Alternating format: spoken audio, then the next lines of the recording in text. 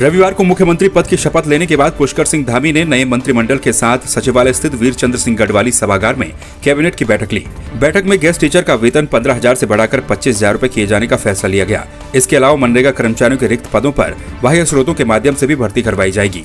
इसके अलावा police grade pay और उपनल के संबंध में कैबिनेट उप समिति बनाने का निर्णय भी लिया गया। प्रमुख राज्य आंदोलनकारी बीजेपी मंडल अध्यक्ष धीरज बिश्न ने देहरादून में नवनियुक्त मुख्यमंत्री पुष्कर सिंह धामी से मुलाकात कर उन्हें सीएम बनने पर बधाई और शुभकामनाएँ दी। पुष्कर सिंह धामी जब युवा मोर्चा के प्रदेश अध्यक्ष थे, उस दौरान धीरज युवा मोर्चा के जिलाध्यक्ष भी थे। धीरज ने बताया कि पुष्कर सिंह धामी के सीएम बनने से अवश्य प्रदेश में तेज़ी से विकास होगा।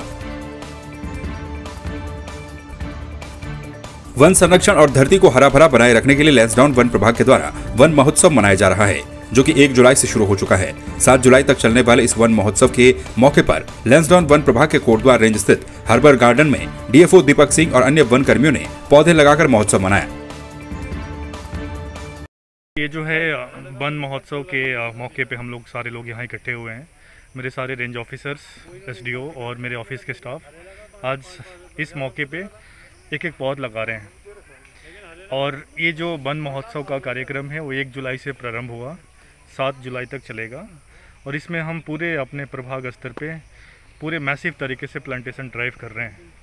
इसमें स्कूल में कॉलेज में हॉस्पिटल्स में, यहाँ तक कि लोगों के घरों में भी पौध लगाने के लिए फ्री में सैपलिंग्स अवेलेबल कराए जा रहे हैं। जो नागरिक हैं, उनसे अनुरोध करूँगा तो लार्ज स्केल पे प्लांटेशन करें, जहाँ भी जगह उपलब्ध हो। और यदि उसके लिए जो भी सैपलिंग्स की ज़रूरत होगी, वो मेरे वन प्रभाग के द्वारा उपलब्ध कराया जाएगा। थराली नगर पंचायत क्षेत्र में पिछले लंबे समय से ग्वालदम थराली कर्णप्रयाग राष्ट्रीय राजमार्ग पर खुले में सड़क के किनारे कूड़ा डाला जा रहा है, जिससे सड़क किनारे कूड़े का अंबार लग गया है। खुले में कूड़ा डालने के चलते यहाँ से गुजरने वाले राहगीरों और ग्रामीणों को चलना मुश्किल हो जाता है। इसके बावजूद भी नगर प्रशासन के द्वारा कूड़े का निस्तारण नहीं किया जा रहा है और ट्रेंचिंग ग्राउंड की व्यवस्था भी अभी तक नहीं की गई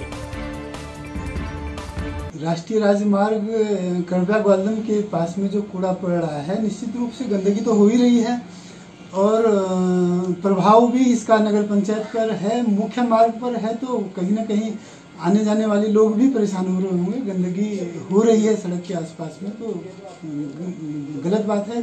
कहीं ना कहीं नगर पंचायत को चाहिए कि कूड़े निस्तारण की एक अच्छी समुचित व्यवस्था करे, और उसका उपचारित करे उस कूड़े को, ताकि पर्यावरण भी साफ़ रहे और कूड़े का निस्तारण भी अच्छी प्रकार से हो जाए, दोनों चीज़ों का होना ज़रूरी है। कई बार ये देखने को आया कि वहाँ पे दुनिया भर की बदबू आती हैं, बंदर, जानवर ऐसे पशु वहाँ पे खाते हैं। कभी कोई चीज़ पॉइजन हो गया तो बहुत बड़ा नुकसान हो जाएगा।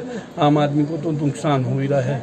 अभी तो कुछ नहीं है। खुले में देखा जा रहा होगा, आप लोग भी देख रहे होंगे। खुले में कूड़ा है, कम से कम पाँच तो चार पाँच सौ मीटर पे कूड़ा ऊपर से नीचे बिखेरा हुआ है। शिकायत की है और एसडीएम साहब के पास जिला अधिकारी के पास लेकिन उसमें कोई संज्ञान नहीं लिया गया। आज दो ढाई साल हो गए नगर पंचायत को बने लेकिन कोई भी संज्ञान उसमें नहीं लिया गया। जो बच्चे स्कूल आना जाना है छोटे बच्चे कई बार बंदरों का अटैक हो चुका है। यहाँ पर लगातार ठीक कभी रात घूमते रहते हैं। और साथ में जो हमारे गाँव की आने जाने में इतनी समस्या होगी कि बुज़ुर्ग लोगों को नीचे का रास्ता रास्ता लोगों ने रास्ता ही बदल दिया इसमें।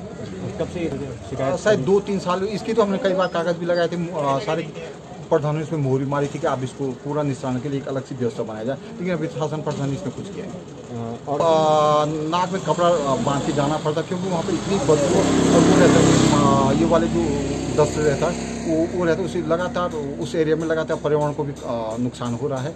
ट्रेंचिंग ग्राउंड बनाने के लिए हमारा भी निरंतर प्रयास चल चला आ रहा है।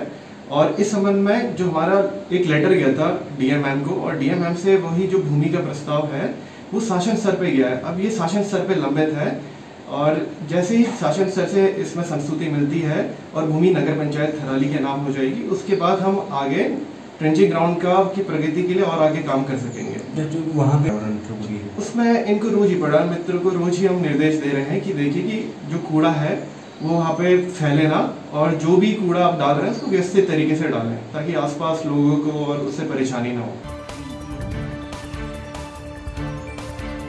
बाजपुर के केलाखेड़ा के गाँव महिया हट्टूक में उस वक्त हड़कम मच गया जब एक झोपड़ी में अचानक धमाका हुआ। धमाके की सूचना मिलते ही ग्रामीण एकत्रित हो गए। वहीं झोपड़ी में मौजूद दो व्यक्ति गंभीर रूप से घायल हो गए। ग्रामीणों को आता देख घायल और अन्य सभी लोग मौके से फरार हो गए। वहीं सूचना पर पहुँची पुलिस ने घटनास्थल का निरीक्षण किया और मौके से केमिकल युक्त रंग और धागे को बरामद किया गया है। सीओ वंदना वर्मा ने बताया कि मामले की जाँच की जा रही है, जिसके बाद अग्रिम कार्रवाई की जाएगी। ये केला खेड़ा के मड़िया हट्टू में ये सूचना मिली थी कि एक जगह, एक घर में एक धमाका सा हुआ है। तो मौके पर हमारी फोर्स गई थी। तो वहाँ पर हमने जिस तरह से देखा कि मौके पे हमें कोई मौजूद नहीं मिला, घर बंद मिला। घर में जाकर देखा तो कुछ वहाँ पे केमिकल्स मिले हैं हमें, कुछ रासायनिक केमिकल्स अभी हम उसकी जाँच करा रहे हैं और अभी हम दो, जो घर के लोग हैं, जो अभी फ़रार हैं, उनको ढूँढने की कोशिश कर रहे हैं। जैसे ही वो लोग हमें मिलते हैं, इसमें हम आगे और जानकारी कर कर हम इसमें जो भी विधिक कार्रवाई होगी, उसको करेंगे। जब घर में बाहर आए और वो मोटरसाइकिल पे बैठ के जा रही थी, एक वैसा थी एक फट्टड़ थी, बिल्कुल खून चल रहा थी। हमने हल्ला गुल्ला करा और पड़ोसी भी भाग भूग के सभी आ गए।